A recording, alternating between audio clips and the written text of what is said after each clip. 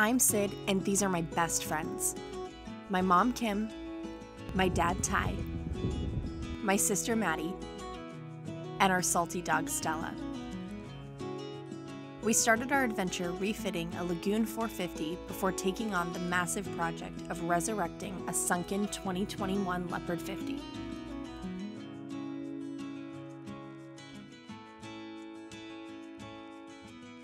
It's been one heck of a ride, but we're on this adventure to die with memories, not dreams, and live dauntless. All right, party peeps. Uh, as you can tell, uh, we've been moving and reorganizing in the boat with other projects, and uh, so it's kind of a hot mess in here. But today is the day I've been able to carve out from work to be able to get back and do this manifold. Um, schedule 40 PVC, of course, is not going to be the answer and we're moving to some really heavy duty schedule 80 as a reminder.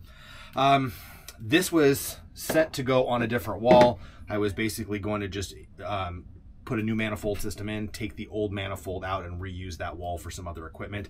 Taking that apart and making room for this new manifold has uh, proven itself to be a bit challenging and it's kind of looking like, well, crap. So I'm just gonna gut everything out I'm going to build the manifold from the start and install this first, and then I'll just make room for the other equipment later.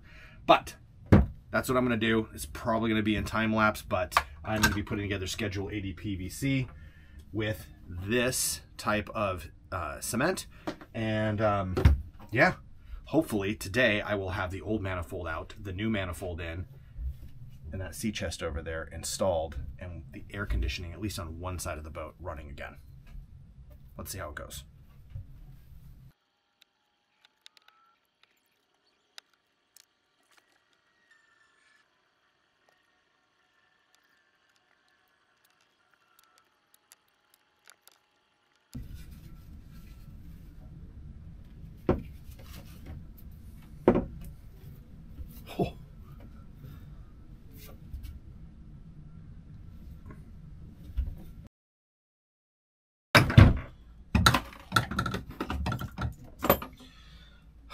It's a mess in here. Oh, this is heavy. One, two.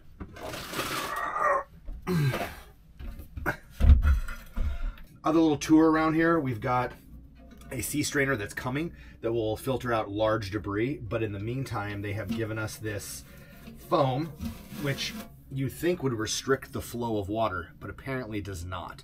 This is fuel cell foam, and it'll allow rapid transfer of water but obviously this will suck up all the little bits and what have you uh, to keep them from getting sucked into the system. So what I'm thinking is after I get the new screen that's coming, I think next week, what I'll do is maybe cut a small strip of this as a small filter that sits in front of that screen and uh, I'll save the rest of this.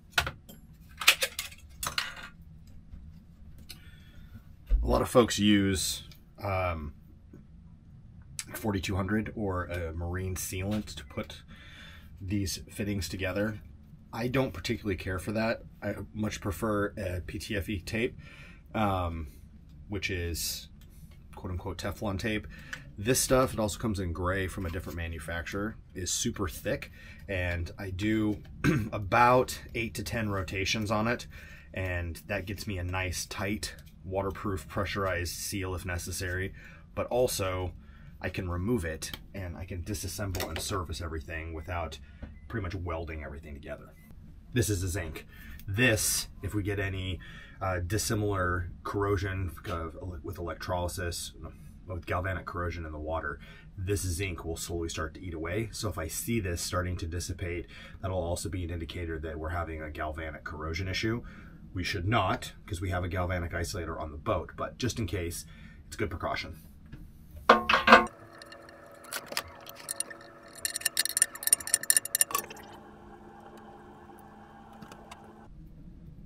So it helps if you put the tape on the right way and you pay attention to what you're doing instead of talking to the camera or while you're talking to the camera. what I mean by that is the tape needs to go in the direction so that when you tighten the tape, the fitting down, the tail end of the tape is going with the flow and not against the flow so it doesn't bunch up the tape as you thread it in. And that will happen if you do it backwards. It'll show you.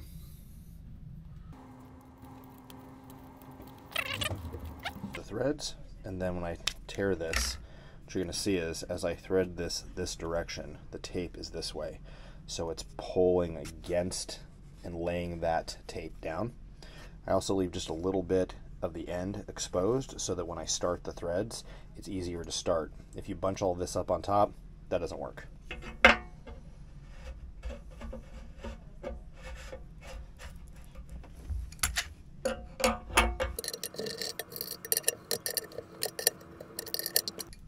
Nice and tight.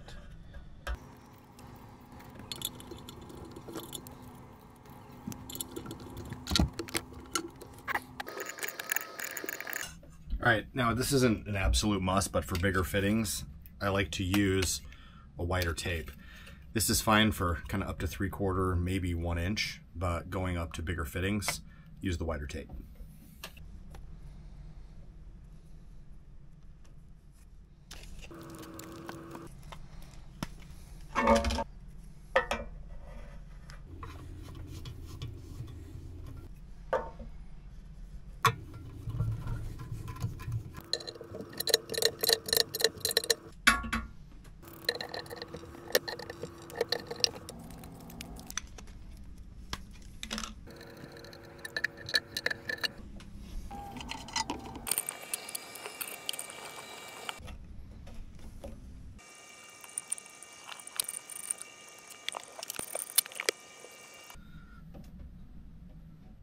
All right, I think I got all the plumbing fittings in, and now I'm gonna work on the lid, which is just a gasket,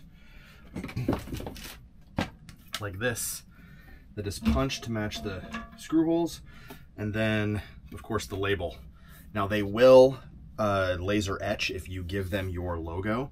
They'll laser etch your logo onto the uh, clear acrylic lid. I kind of like the smaller one that they put in this bottom corner so I can see all of the uh, water flowing on the inside and uh, we so so appreciate uh, the hooker pump crew supporting the project and uh, digging in and trying to help us with a better solution and um, thanking us for the video that we made and then the pump that we bought. So we figured it was only right to advertise for them when you see inside of here because well they're the ones that made this possible. So thanks again guys. Appreciate it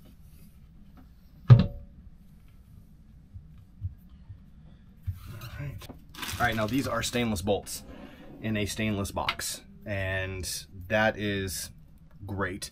But you know me, I like Tef-Gel, and uh, I put that in everything. So I'm gonna put it on here just to make it easy to to um, disassemble and reassemble when I take the lid off. I'm not worried about any galling, and just another little extra layer of sealant and uh, just security for the longevity of this really, really nice sea chest.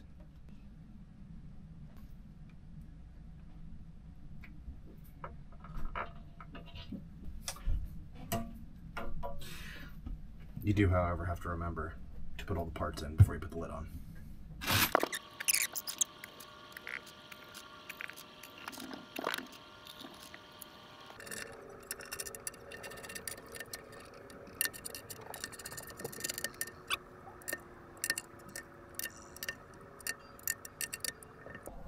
All right, I don't know if I've mentioned this already, but this last little piece here is an overflow or um, overpressurization device. They typically install these guys, of course, on fishing boats is what the original intent was. And if you're moving really fast through the water and water's getting shoved through the scuppers and pushing into uh, this box, it could overpressurize. So in an effort to get rid of the excess pressure, water, or air that could get trapped in on a boat that's planing, which of course ours will not, um, but just in case they wanted to make sure that we had this, this is a one-way valve that will just allow that excess pressure and water to flow overboard. I'm gonna tie this in uh, with a T to the condensation over uh, overflow, so I don't have to drill an additional hole in the boat. I doubt there will ever be anything inside of this um, little deal, but just in case, we have it installed. All right, I think that is just about gonna do it. Uh, I've got everything seal taped in. The only thing I've got left to do is when I get down in there is gonna be put this pump on and hook it up to the through hole. We're gonna flood this box and see what happens. All right, I'm about to show you what I've been doing off camera, and it's just plywood and gel coat. I like to coat every one of my mount boards in gel coat. I like gray. It kind of looks cool. Um, and normally I, I use a roller and create a little bit of texture and then knock it down. You'll see this one I got a little heavy. Um, but new board for new manifold, and I'm gonna have to take everything out of that space down below. And so what I've done here is created these yokes to hold the two inch tubing. And then I've created a vertical and horizontal support with another little yoke up top to be able to hold these stems here to take any load off of this vertical section. Okay, this is the exciting part. By the time I got everything handled today, it is now just after lunch and it's a warm day today. And I have to completely shut down and drain the entire air conditioning system to be able to put this new manifold in. And uh, it's gonna get warm. So let's turn around. This is the old manifold board. Obviously, I tried to take this thing apart, did not work out well. So I am going to completely remove this. I have made a new board here. The new manifold's going over here. The shower sump is going over here. The sea chest is going here. And I'm going to be using all new hoses during this. I'm going to try to set this up so you can see what's going on for the most part. Here we go.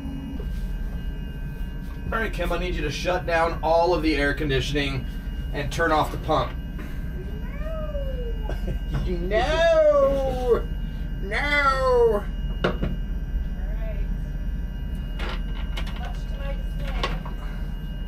Yes, I know. Much dismay.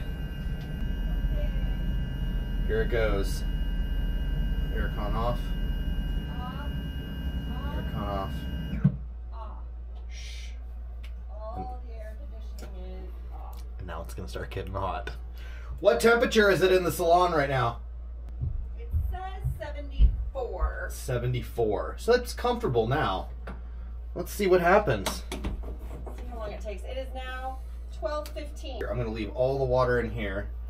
And over here on the edge of the manifold, I've created, I put a drain in originally for servicing purposes. and look at that. It's coming in handy. Open, open, open. Let's drain the system. Ugh. Sludge. That's gonna stink. Man, there is a lot of debris in that system. Just draining it into the bilge. This big black sediment came out. I think we definitely need a barnacle bust this as well. Alright. Alright, there's a whole bunch more. Hoses are disconnected and all the seawater's been spilled. So now I'm gonna pull this panel out.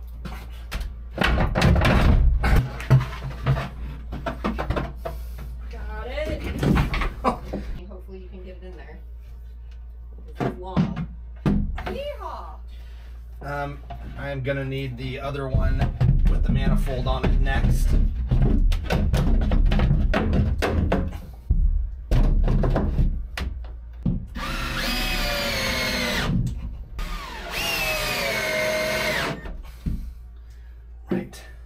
Okay, this one's gonna be fun.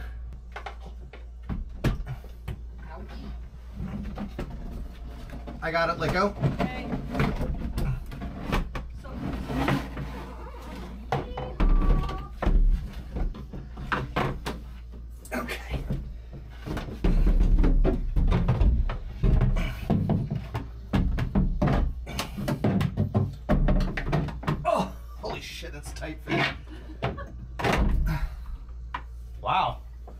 Shit, it's like I planned it that way. Effing sweet, man. Now that I've got this board right here in, this board is going to be for uh, the shower sump and for an anchor board for some of the other uh, product that I've got going on in here. Now over here is this manifold board, and right here you'll see where it comes through here, and there's a solid, solid uh, uh, support. I want to bring that through, make a 90 degree turn, and come this way with inch and a half hose. That is going to be the emergency crash pump. So I'll be able to turn this valve on this section and everything that the system is pumping will go overboard when I close the air conditioners down. Um, that is the idea and you can see it's extremely tight. I didn't really have a whole lot of space between all of these fittings and it's really close to this wall and touching over here. So it's it's a bit tight, but I think it looks good and I think it's gonna absolutely work. So I'm just gonna take my pencil and a mark around where that uh, pipe is lining up and then take the board out so I can drill the hole and then put the board back in so I can glue everything back in again.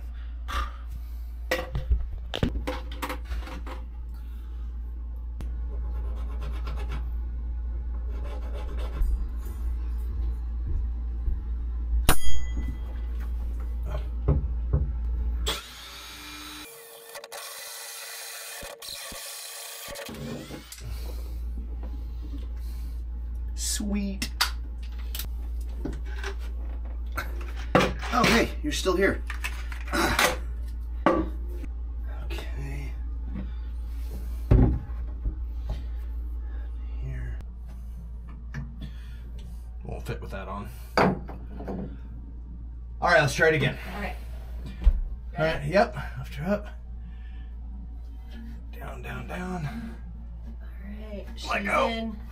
Holy shit! These things are no joke. That's gonna just clear, so those dimensions are good. So I'll be able to take the lid off without it catching on the board. I'm super stoked.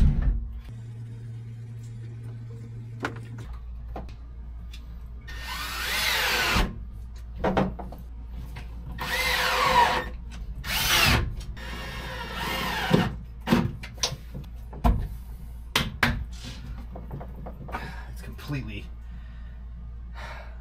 sealed in. What I didn't show you last night was I when I put this board in, I sculpted these feet to match the shape of the hull, and then I got it within about an eighth of an inch, and then I bed it in a layer of Bostik, and that not only acted as like a cushion layer, but also an adhesion layer, so it had a, a cove joint down onto the hull. Yeah, I'm really freaking happy. All right, so you can see this is pretty chunky stuff. Like light's horrible in here. There we go. You can kind of see it is a rubber braided and wire reinforced. That ought to do it. I need something to lubricate this hose fitting on here. Like lotion? That'll work? I suppose we could just use lube. Yeah, why don't I get me some lube? Huh? Why don't you get me some lube? That's somewhat embarrassing, but perfect. Well, I don't have to put it on the internet. Lube. Right there. It'll just glide on. Uh, Oh Sure. God, that's embarrassing. I'm sure Kim is not enjoying this right now, but.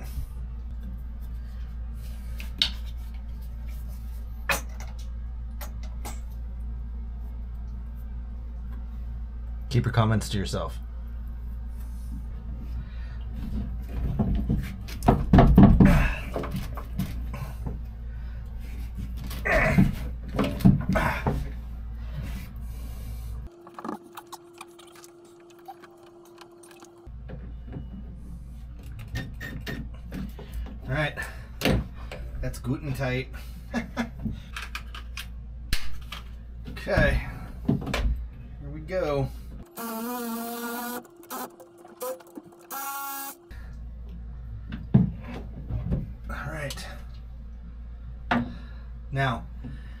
Barb fittings, these barb fittings right here are significantly tougher to get the uh, hose on. So I might have to use a little extra lube on this.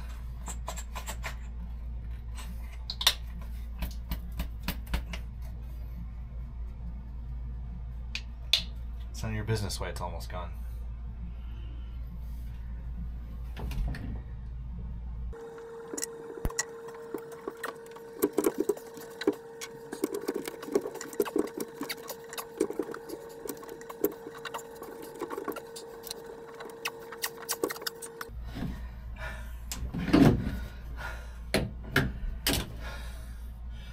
Was a hard one. Stop it.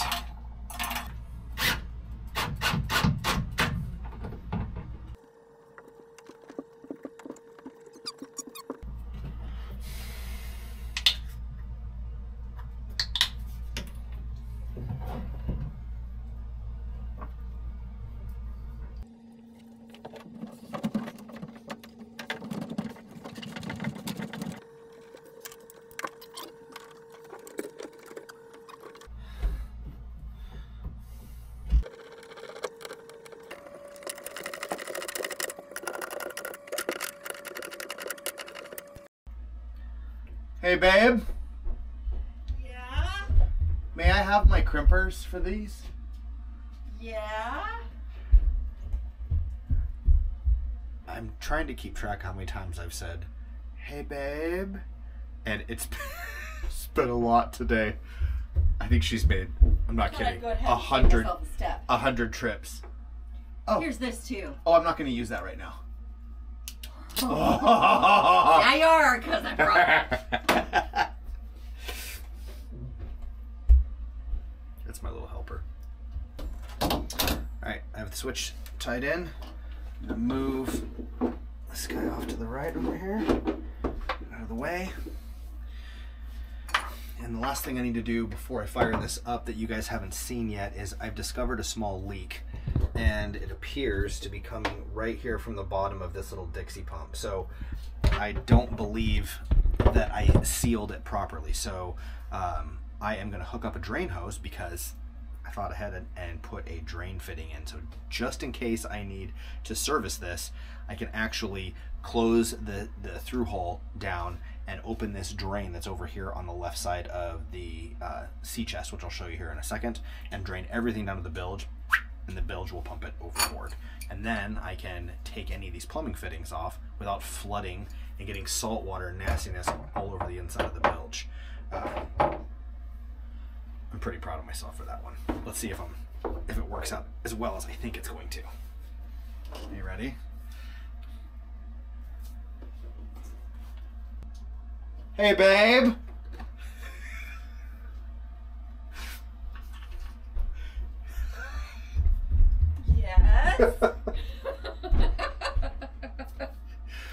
There's a small a, a small spool of three quarter inch hose out in the forward cockpit.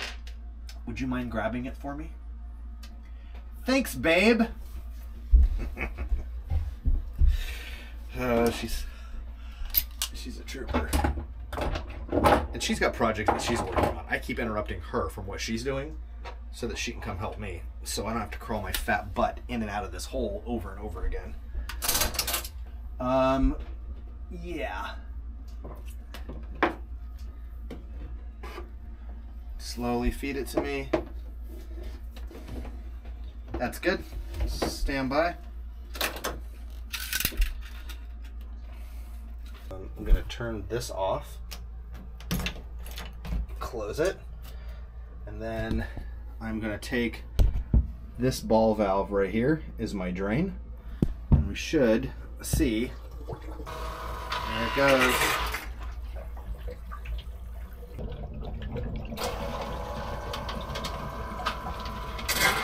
That worked out pretty well. Okay. Now, because it's draining down to here, I should be down below this level where I can take this off. Right, done. Off. Hey, babe, yes. can you turn the pump breaker on? And on.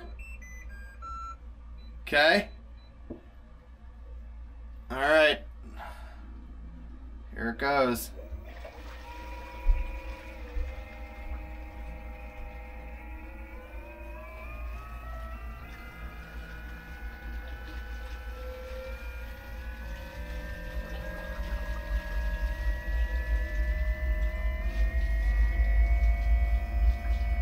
Sounds like that's moving way more water than it was before.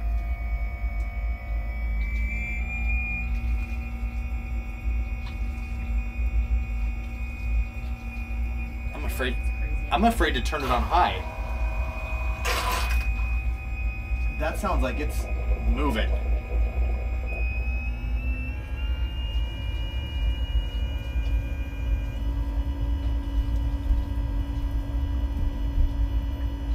Oh, I hear water rushing. Let's go outside and look. Again, like Kim said, without doing the bucket test, we're not going to know exactly. But I think it's working out pretty good. Let's turn on these air conditioners and see what happens. Um, hopefully they'll cool down quickly.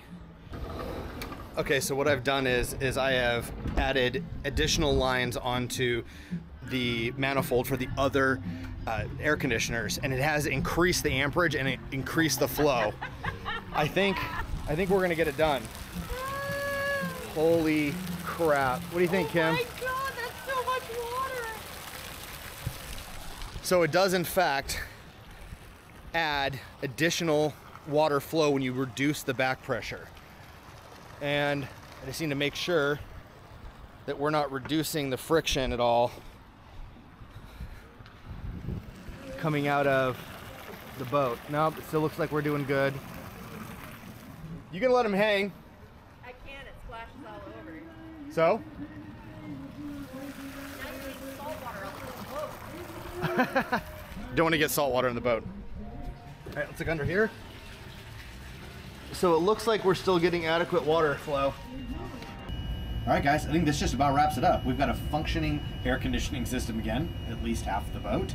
I love, love this sea chest, and the amount of un, uh, unencumbered water coming in is absolutely great, and it's going to be a really, really big strainer. So in case we get into any ugly water, or uglier than it is here, um, it'll hold a lot of debris before it starts clogging up. I did um, as you saw, put some additional hoses and run them overboard just to mimic the additional water flow and reduce the back pressure, like the folks over at Hooker Pumps told us uh, would happen. And absolutely, we went um, almost double the water volume, and this thing is pumping crazy amounts of water. So I'm really confident that even with the additional restriction, because I ran all of those hoses all the way up over the lifelines outside, and that's higher than any of the other air conditioners in the boat, that we should be doing pretty darn good. Um, I'm super excited about having these big, robust hoses and um, Schedule 80 PVC. Everything is just really coming together super, super nice. This is gonna have to get changed. I got a little heavy-handed and I actually broke the fitting on the bottom of the, the little pump. I didn't break the pump, I just broke the bushing that um, I should have bought a better one to go inside of there. So, other than that, guys, I'm super stoked. If you like this content, is this if this nerdy kind of stuff is something that you dig on, please hit that subscribe button, hit like, leave me a comment below. Um, no hating on the wiring yet. It is temporary. I will be putting better wiring in and tidying up the hoses and the lines. We just wanted to bring the boat back down to a reasonable temperature this afternoon while I was working on it. So, I'm stoked. We're going to get into water flows and efficiencies next week and amperage draws on this little motor here. I've got some super exciting news for that. So, hope you guys enjoyed this. I'm glad it's done. I'm glad it's in, and I now can confidently plumb all the rest of the air conditioners in the boat and get this guy nice and cool. Thanks again for watching. See you guys next week and have a great rest of your weekend.